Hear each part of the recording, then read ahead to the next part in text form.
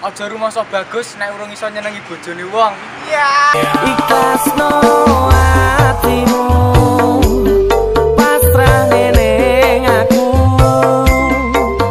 rapat kata